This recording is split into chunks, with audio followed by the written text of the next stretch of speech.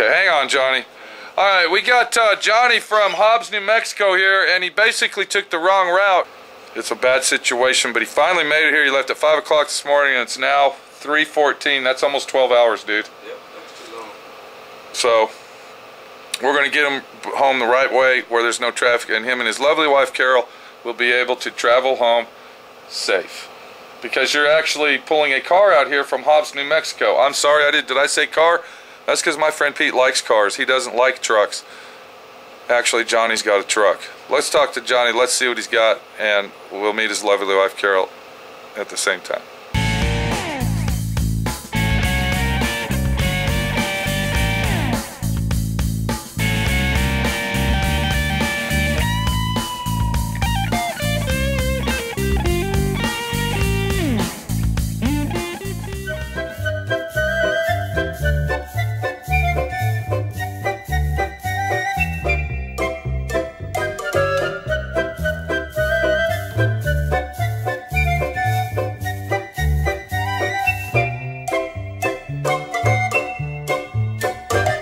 What's up, Johnny? Man, I'm You look nervous, bud. I'm glad to be here. Yeah. That Okay. was a hell of a ride. Now you say you watch my videos, is that right? I do. Okay. How long you been watching those videos though? Oh, probably about. So you're a YouTube connoisseur? Yeah. Oh, yeah. Is that right, Carol? Would you verify that? Yes. Do you get mad at him when he watches those videos and my friend Pete's hollering, screaming real loud, cussing and hollering, or, No. or he turns turns it down and puts the headphones on? He turns it down. You guys got any kids, do you? Yeah, we got we got we got four kids, three girls. That live at home with you? No. Oh, I was gonna say, you don't turn my videos on with them there, do you? No. Uh-uh. Oh, okay, okay. All right, Johnny. So you finally made it over. You've been talking to me for about four, five, six months about this old truck, Yep. and it's a 1960 Ford. How long have you owned this truck, Johnny? Uh, probably about six years. About for six years. And do you drive your truck, or I used to up about a year ago. I haven't driven it in about a year. what's the situation? Why aren't you driving it, bud? Um, I know it's on the trailer. We don't want to call it trailer queen. No, it's uh, it's, it's kind of. I haven't driven it in so long. Everything's all not running right. Okay, so what kind of drivetrain do you have in it? Well, it's, it's got a 400 modified in it right now. Okay, when you say 400, is that a Ford or It's a Ford. Chevy? It's a, Ford. Okay, so it's got a Ford 400 small block. Yep. modificationed out. And it's got uh, automatic transmission, I presume. Uh, is it an overdrive transmission or is it a straight, It's a straight C6. like a C6 or a C4 or something? yes, sir. And then it's got the factory original rear end. Yep. Dana 60. Okay, Dana- is that original? That's It is? Alright, so what are we doing to your truck, Johnny? We got the car, it's kind of rickety and rackety, and you want to stiffen it up and make it street legal, drivable, because you want to start driving your car, going to the local car shows, get a couple trophies maybe, this, that, and the other, and have fun while you're still young. Yes, sir. What's up with the front suspension, bud? Well, it's got the original front end under it right now. And what does that consist of? Is that like a kingpin, uh, straight I-beam type front end? Yeah, that's it. Kind of like those old 63, kind of like the 63 uh, Ford Econoline vans, for instance. Same thing. So when you hit a bump, the wheels start shimmying around like this. If they both hit the same exact bump at the same time and you can't keep control of it, it's a little bit shaky. yeah, the only thing different I say is, is it had a uh, it had a V8 in it. Oh, I think it was like a 292. So originally it was a V8 car. Yeah. So I pulled it out and put a, Now is that a Rebel 400? Is it all chromed out? Is it like a show engine or? No, it's just uh, one that come out of a, somebody's vehicle. I took it out motor training. Right, right. Slapped it in there. Oh, so you took the whole drivetrain out and slapped it up in there. Yeah. Did you have to change- little- Put a little cam in it. Oh, okay. Did you have to do any modifications to that, uh, Johnny, to make it fit in there, or did it bolt right in? uh, no, I had to do modifications. Motor mounts, transmission mount. Yes, sir. Okay, how's the wiring on that thing? How's the interior on it? Um, it's all right. I mean, decent You know what? Instead of truck. instead of sitting here asking questions, maybe we ought to go look at it. Yeah. All right. All right. You want to wait in here, Carol? Or you want to go with us? I'll go with you. Okay, come on. Your dog's uh, smart. Who? Oh, did he untie your shoes? Yeah. Axel, leave him alone. You are like a rat, not a skunk. Son of a. Oh, he got one wrong. Oh, did he get both of them? He's, he's good. Leave him alone, Axel. Hold on. He's full grown. He's not getting any bigger. There you go. He thinks you play with the.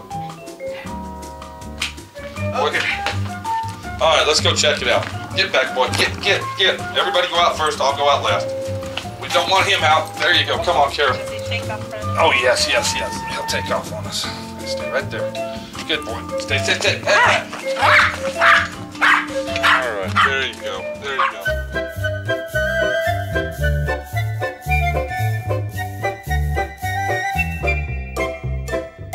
Okay, if we look over here in the distance, Johnny, we see a truck on a trailer, and it's a 1960 model. and It looks pretty clean. The paint's kind of faded. I guess it's a rat rod. Am I right? Well, well, right now it's just a, a rat.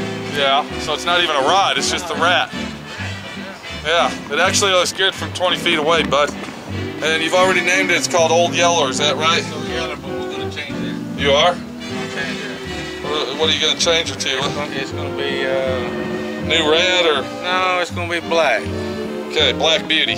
It's well, it's not gonna be shiny. It's Okay. gonna be just a Oh, it's a rat rod black. Now we're going rat rod black truck. Flat, Flat, flat. flat black. Now this is kind of a special truck, Johnny, because it's a short bed, dude. So that makes this truck worth some money, actually, because it's a short bed uh, version of the 1964 truck. Am I correct? That is true. Tell us a little history about it, Johnny, that you know of.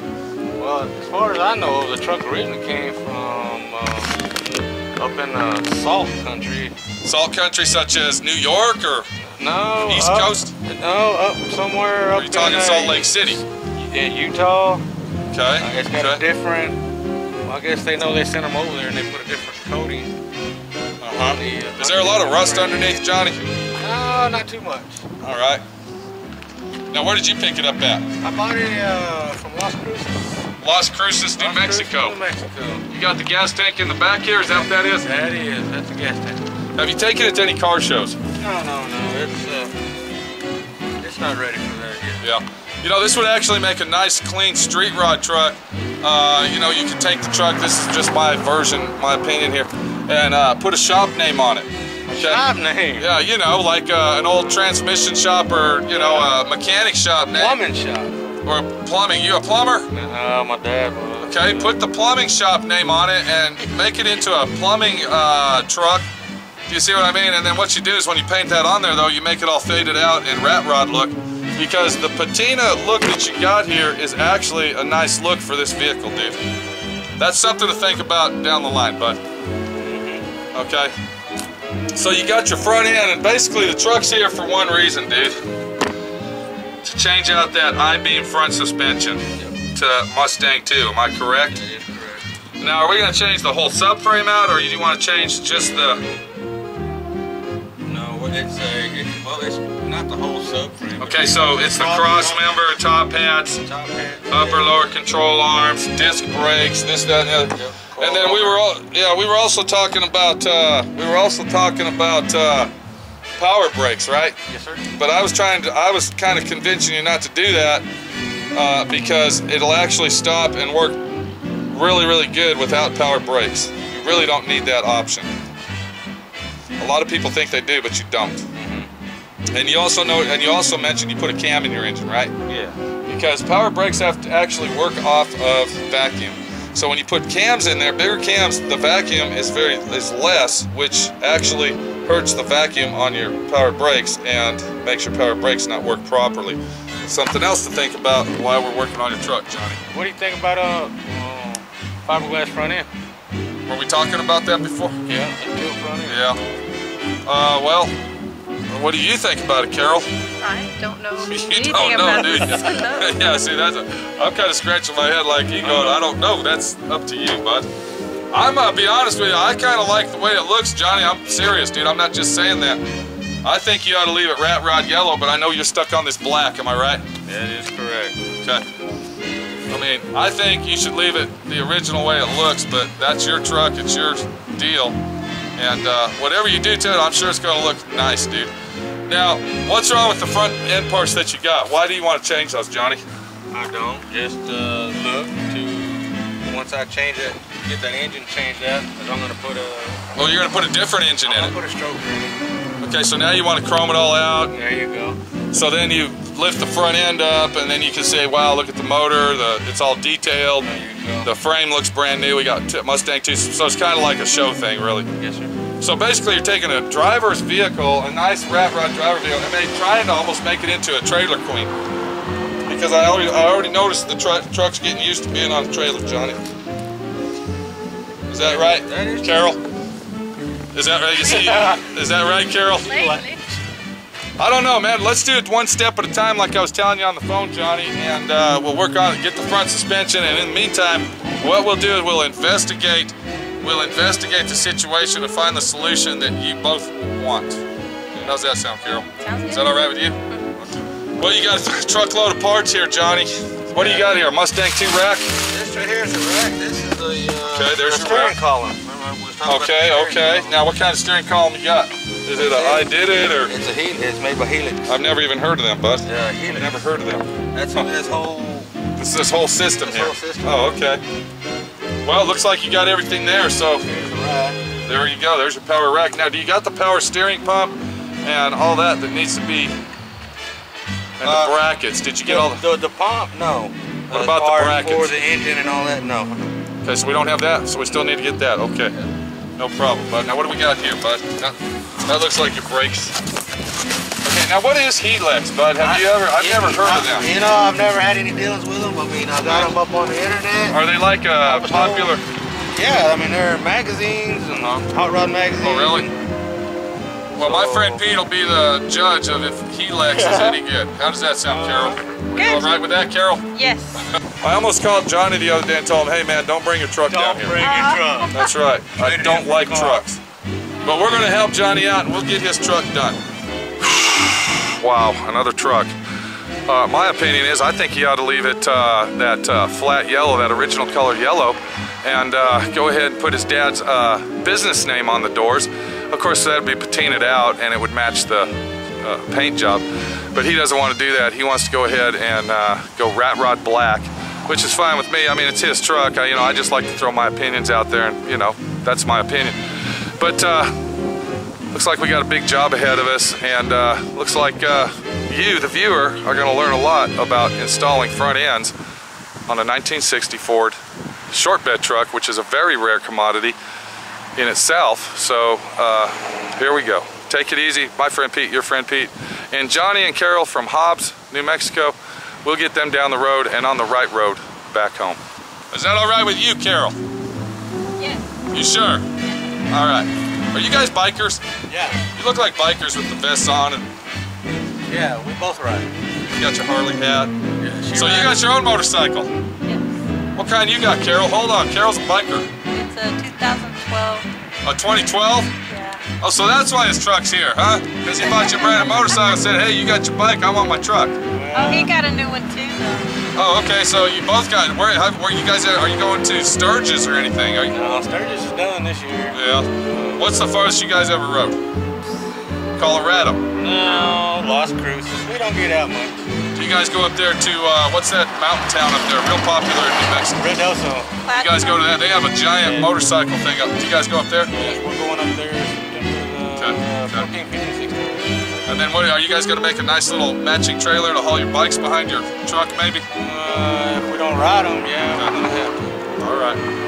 Well, good luck and uh, fuel injection all the way on those things, huh? Yes, sir. There you go. All Are those the way down. Dynaglides? Is that what it is? A Dynaglide or Mine, mine's a, mine's a Road Glide Custom. Road Glide Custom? Uh, 2012. What you got, Carol? A trike. A trike? Was that like a uh, from the factory or somebody made it to the? Oh, really? It's a factory Harley Davidson trike. Huh. Now, how does that thing run? Like the. Is it hard to turn corners Not really. so you don't have to go real slow when you make a right-hand turn? Well, I'm getting on older, so I'm not going Yeah, too yeah. fast. Well, that's cool that you got a loving husband that bought you a trike. Yeah. That means he loves you and wants you to be safe. I've seen a lot of motorcycle wrecks, and I'm telling you, don't want to be in one. Alright. We'll see you later. Take it easy. What club you guys belong to? We're the Flatlanders. The Flatlanders. That's in Hobbs, New Mexico. That's Lubbock, Lubbock. Texas. Lubbock. Lubbock, Texas. There you go. That's why you need to go back to Lubbock. So We're you going. We're hang out with your club members and drink a few brewskis and uh, sit back and listen to 1970s Lynyrd Skynyrd music. Hey, I don't have a problem with that. Boston, There you I go. don't, don't. Allman Brothers, Brothers. all of them. All- Grand Funk Railroad. How about that? We'll see y'all later. Take it easy. All right, thank you. All right. It's a hot rod world. It's a biker world. It's their world. My friend Pete's got to go. See you later.